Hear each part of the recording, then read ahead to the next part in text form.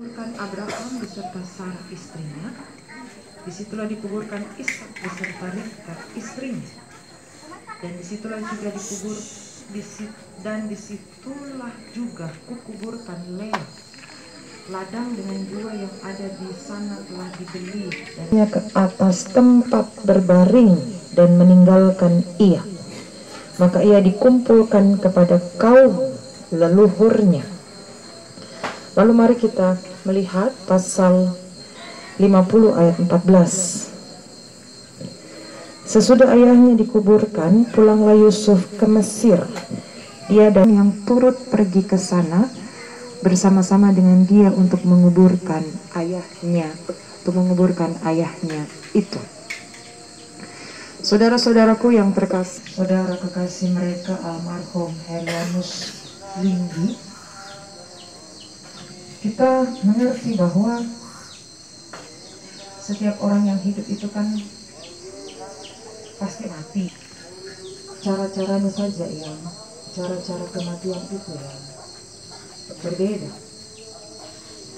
Tapi meski meski demikian mesti kita tahu kematian itu masing-masing orang punya definisinya punya pengertiannya sendiri ada yang cukup mengatakan kematian itu adalah sudah selesai kehidupan. Dan kemudian tubuh jasmani akan dibahan dengan sang pencipta. Atau ada banyak lagi yang memiliki definisi pengertian masing-masing. Apakah kematian itu adalah akhir dari segala-galanya kita ini ciptaan Tuhan? Atau kematian itu sebenarnya adalah sesuatu yang melanjutkan hidup yang sudah kita lalui meski dengan cara yang berbeda. Saudara-saudara, bagaimana kita menyikapi, bagaimana kita mendefinisikan, bagus. Bagaimana kita kita ditanya tentang soal-soal dari mata kuliah pendidikan di sekolah yang berat. Mungkin matematika, mungkin fisika, mungkin kimia. Tapi kalau ditanya soal kematian dan kita disuruh menjelaskan tentang kematian, ada banyak orang merasa, eh pertanyaan lain saja. Dan itu pertanyaan yang sangat tidak nyaman. Saudara-saudara, karena kematian itu kan misteri. Lalu ada juga orang yang berkata begini, eh, kalau kita bicara kematian, nanti kita yang dapat giliran mati. Jadi jangan bicara tentang kematian. Jangan kita hindari itu. Lebih bagus kita bilang, oh kita tidak tahu. Lebih bagus kita bilang, tidak tahu. Lebih bagus seperti itu. Karena ada juga yang mengatakan, karena perkataan itu adalah doa. nanti saya, nanti saya cepat mati. Nah saudara-saudara, sedemikian menakutkan, sedemikian misterinya, sehingga meski kita tahu bahwa setiap kita ini akan meninggal, tapi kita menghindari tema-tema, topik-topik tentang itu. Saudara-saudara yang terkasih dan kemudian tidak sedikit orang yang takut. Takut berbicara tentang kematian. Namun yang menarik di kisah ini adalah tentang Yakub. Dia tahu kematiannya. Dia tahu kapan waktunya.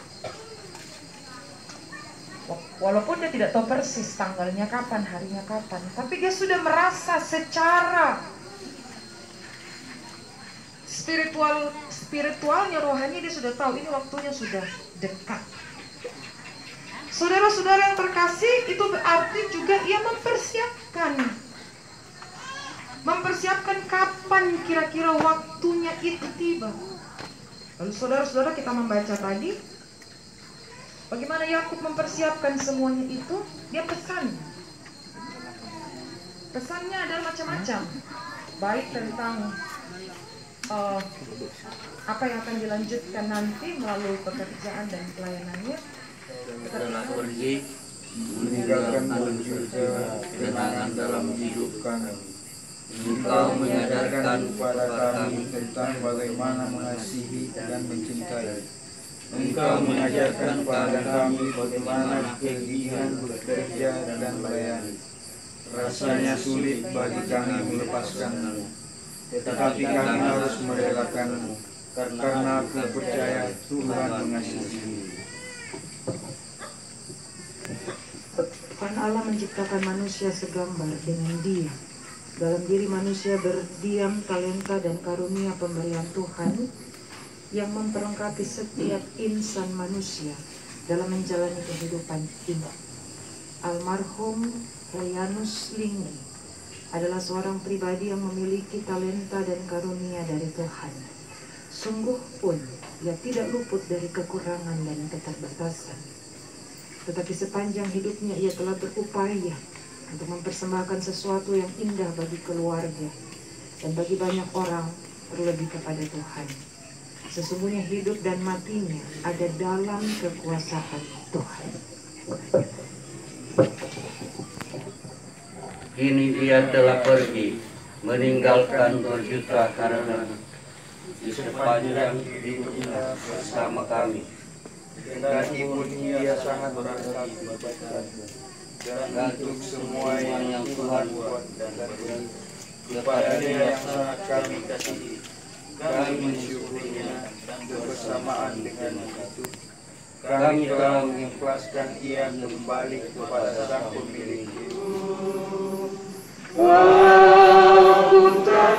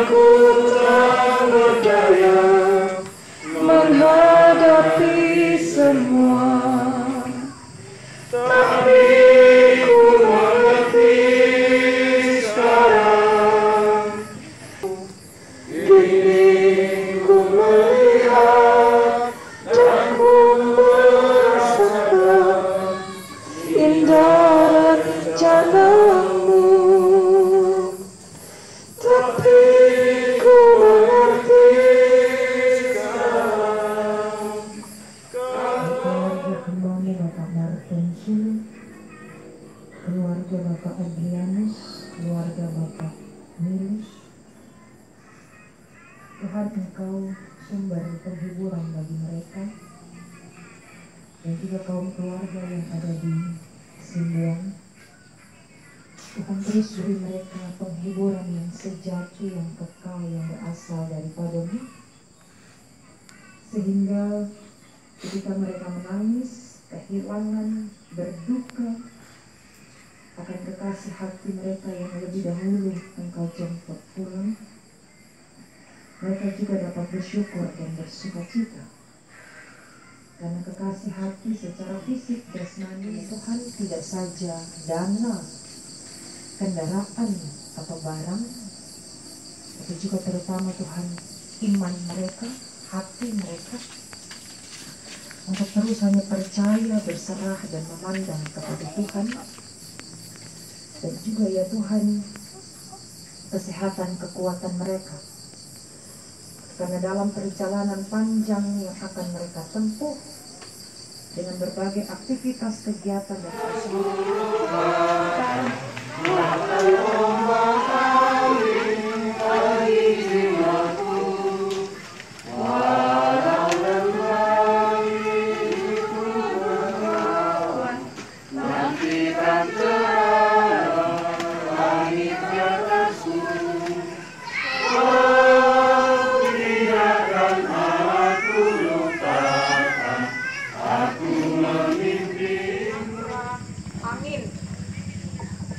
Silahkan duduk kembali. sama rekan-rekan majelis yang sudah melayani kita pada malam hari ini lewat pemberitaan firman Tuhan.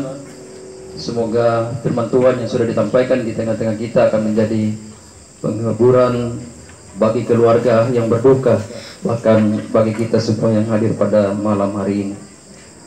Baik Bapak Ibu, selanjutnya kita melangkah di acara ketiga, yaitu ungkapan hati lewat ucapan berbelasungkawa. Yang pertama dari kasih terusan Sang Turayan dalam hal ini akan disampaikan langsung oleh Ketua Umum dan kepada Bapak Niko Samara kami silakan. Shalom. Bongi Melo. Udah siap terakhir.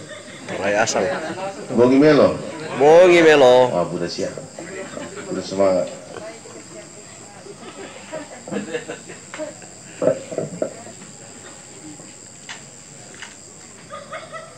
Yang terkasih keluarga yang sedang berduka pada malam hari ini yang kami hormati dan kami kasih Ibu Pendeta Joy Sandri Meusu STH meskipun bukan orang Toraja Ibu tapi jadikanlah dirinya Ibu jadi orang Toraja karena ada di tengah-tengah orang Toraja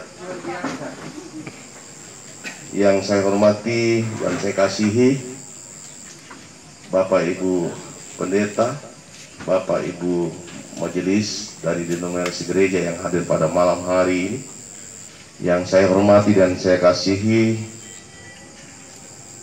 para sesepuh atau orang-orang tua saya yang ada di Kasih Tursana Sang Turayan yang sempat hadir pada malam hari ini. Yang saya hormati Bapak Ibu pengurus Kasih Tursana Sang Turayan yang boleh hadir pada malam hari yang kami hormati dan kami banggakan Bapak Ibu Ketua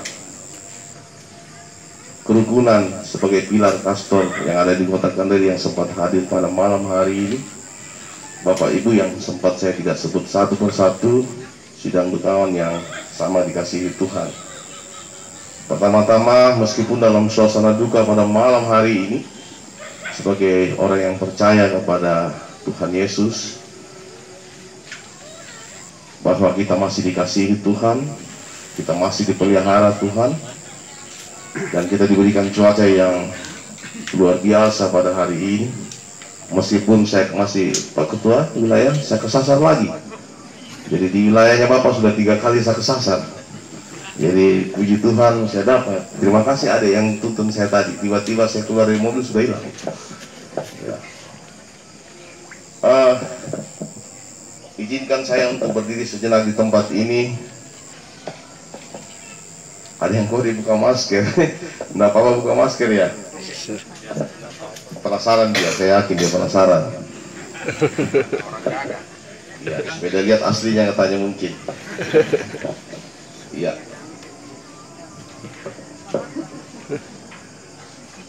sampai di mana tadi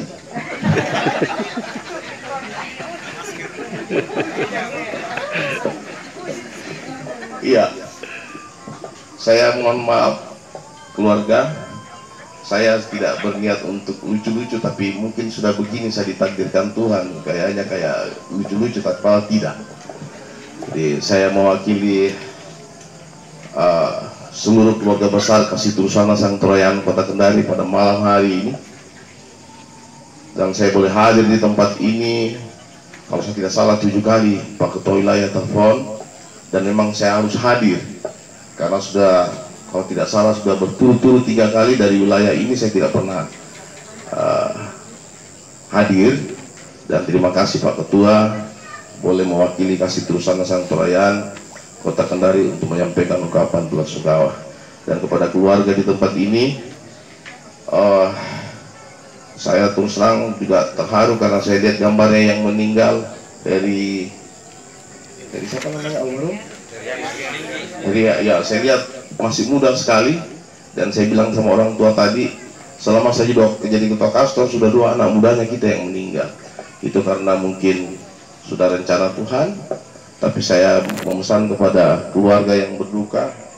Saya mewakili keluarga menyampaikan ucapan terima kasih yang sebesar-besarnya atas kehadiran Bapak Ibu dan saudara-saudara sekalian untuk datang membagi duka bagi keluarga Bapak Martin Sule dan kami sekeluarga. Karena di mana dalam duka yang kita alami sungguh sangat menyedihkan bagi keluarga tetapi kami tidak percaya bahwa firman Tuhan yang telah memberikan kekuatan bagi kita yang mengalami kedukaan sehingga kita tidak larut dalam kedukaan. Dudukannya juga.